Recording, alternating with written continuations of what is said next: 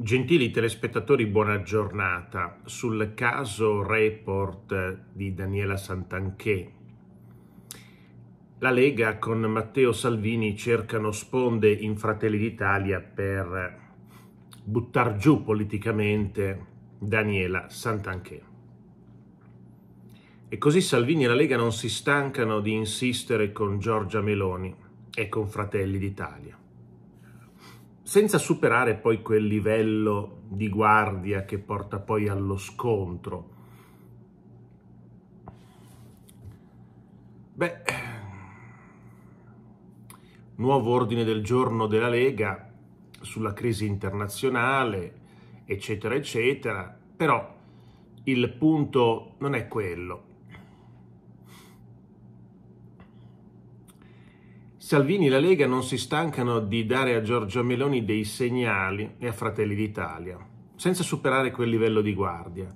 Il capogruppo leghista alla Camera, e non solo lui, avevano chiesto a Santanché di riferire in aula. Ieri anche lo stesso Salvini dice se la politica dovesse lavorare in base alle inchieste di report, saremmo la Repubblica delle banane. Massima fiducia ai colleghi in carica. E Salvini, se dovessimo badare alle inchieste di report, saremmo la Repubblica delle banane.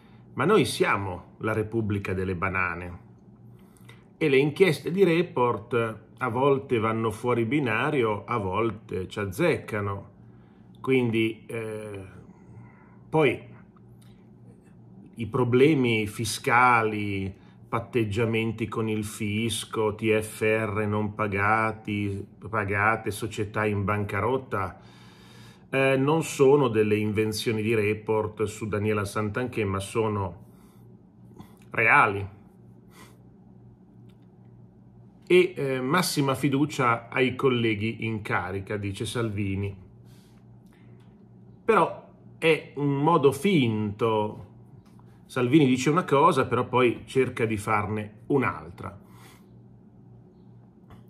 Il dato di fatto è che ormai nel centrodestra lo strapotere della Meloni è qualcosa che non può essere frenato, è inarrestabile.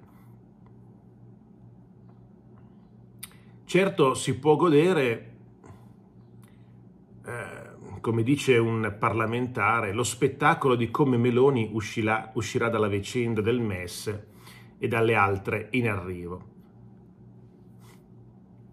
Se non un tanto peggio, tanto meglio, ecco, perché poi vedremo sul MES che cosa sta, che cosa sta succedendo, questa storia che va avanti ormai da anni. Poi la scomparsa di Silvio Berlusconi. Ieri di fronte ai giovani di Confindustria, Salvini ha ricordato con commozione ai leghisti che è venuto a mancare quel gioco di sponda che risale a prima della caduta del governo Draghi, che poi è proseguito con la linea comune sugli estimi catastali e sui balneari. Diciamo che Salvini aveva con Berlusconi una bella sponda, insomma, i due si trovavano da prima del governo Draghi, nel governo Draghi, anche contro Meloni. Vi ricordate quanti sgambetti avevano fatto? Si ritrovavano a cena per parlare male della Meloni, come disse Verderami sul Corriere, che si incontravano spesso e facevano a gara a chi parlava peggio della Meloni. Questi erano Berlusconi e Salvini appena cominciato il governo Meloni e prima dell'inizio di questo governo. Naturalmente con la scomparsa di Berlusconi tutto questo sparisce completamente. Quindi quella sorta di legame tra noi due non c'è più.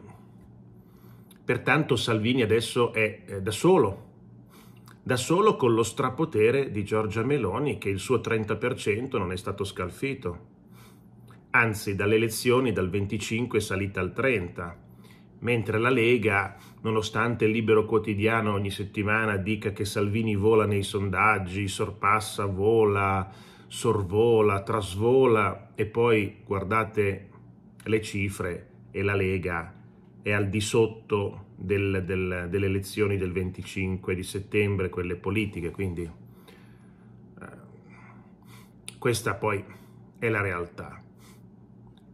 Antonio Tajani ribadisce la mia critica al MES è europeista, deve essere sottoposto al controllo del Parlamento europeo così come sottoposta all'attività della BCE.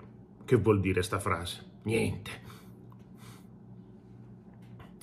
Forza Italia era il partito più favorevole della maggioranza al MES, ma il fatto che oggi lo sia di meno nella Lega non viene letto come un compattarsi del centrodestra,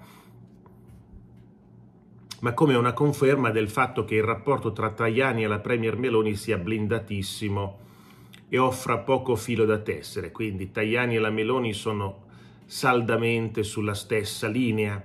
Tajani prima era il portavoce di Berlusconi super fedelissimo di Berlusconi.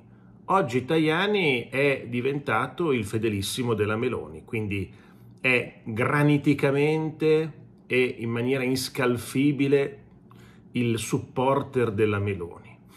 E beh, ma Tajani ha fatto così per tanti anni con Berlusconi, quindi non è che, ha, che fa fatica a farlo con la Meloni. In lui automaticamente da Berlusconi è passata Meloni Tajani non è abituato a fare il capo, Tajani è abituato a fare il numero due, il portavoce. Oggi che lui è il capo di Forza Italia, eh, ancora non si è reso conto e fa il numero due della Meloni adesso in maniera automatica. Secondo la Lega occorre che il partito si attrezzi a raccogliere il lascito berlusconiano su temi come l'abbassamento delle tasse e il lasciar libera l'economia. E poi aggiunge dobbiamo distinguerci da certe proposte come quella di Sant'Anché per imporre ai bed and breakfast di affittare per un minimo di due notti. Ma, ma, ma che roba è un minimo di due notti? Assurdo, ecco. Su questo, guardate, su, questa, su questo magari ne facciamo, ne facciamo poi un un video a sé, vorrei dare la mia opinione su minimo due notti. Va bene, oggi non è che ci sono molte notizie, oggi è domenica 25 giugno e realmente, realmente non c'è niente, siamo d'estate, ombrelloni, spiagge, pinne, fucile ed occhiali eh, e pertanto le notizie di politica d'estate, se non ci sono cadute di governi, come ci sono negli ultimi anni i governi sono caduti d'estate, quest'anno però, a meno che di stranissime sorprese, non c'è nulla di strano. Grazie a tutti e buon proseguimento di giornata.